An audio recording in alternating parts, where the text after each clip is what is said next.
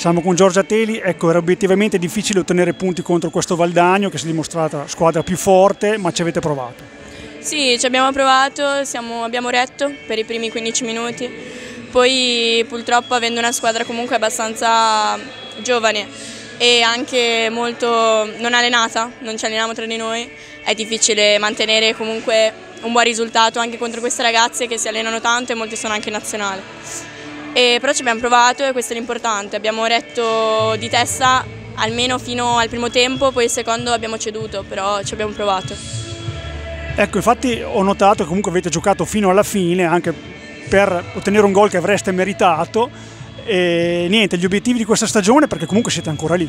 Sì, gli obiettivi, l'obiettivo principale è sicuramente quello di arrivare alle Final Four.